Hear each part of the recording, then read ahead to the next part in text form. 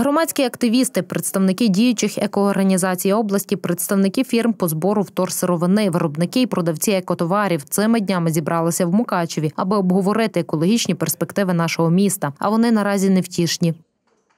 За рік по обсягу населення Мукачево продукує сміття об'ємом як 12 дев'ятиповерхівок. За рік один українець в середньому продукує 400 кілограмів відходів. 41% з них це органіка, 35% папір, решта пластик, скло, метал та інше. Проте проблема в тому, що в нашій країні переробляється лише близько 5% відходів. За умови такого ж споживання за 10 років сміття дорівнюватиме висоті замкової гори. Вихід формування екологічної свідомості в цьому контексті варто виділити необхідність збору та переробки вторсировини. На екосемінар завітали підприємці з Ужгородщини, Бергівщини та Мукачівщини, які цим займаються. Щоб люди розуміли, для чого ми це робимо і як правильно це робити. Разом з заготівельною конторою ми розробили правила сортування. Тобто, е, ви розумієте, що е, сказати просто людям, що давайте сортувати, цього недостатньо. Значить, є такий розроблений, я вам покажу. е, Це буклет ми розробили фактично разом із заготівельною конторою. Є ну, чотири основні: да? скло, папір, пластик і метал.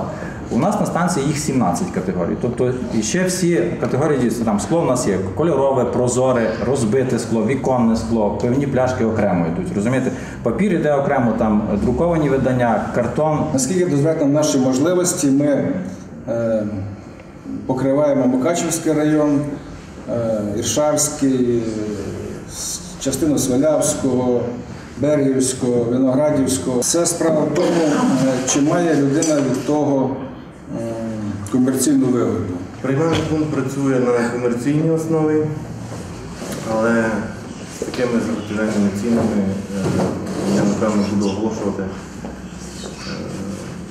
безкоштовно прийом вторинної сировини, якщо це когось цікавить, так як у Володимира в Невицькому. І справді займатися сортуванням та переробкою сміття на комерційній основі наразі в Україні невигідно. Вторсировину підприємства воліють закуповувати за кордону, ніж використовувати вітчизняну. Поки що ситуація ну, е, державними органами ніяк не вирішується, і такі підприємства вже їхня діяльність тут стоїть. Вони самі для себе ставлять питання доцільності, е, прогнозовану тривалість. Ці проблеми вирішити можна, але для цього потрібен час. А поки можна виховувати в собі відповідального громадянина і намагатися зменшити використання товарів, які найбільше забруднюють землю. Кожен сам особисто вже може суттєво зменшити кількість пластику, просто не беручи пакет в магазині, а маючи свою там сумочку, е, мішочок, куди все це багаторазовий. Використовувати все ж таки багаторазові речі.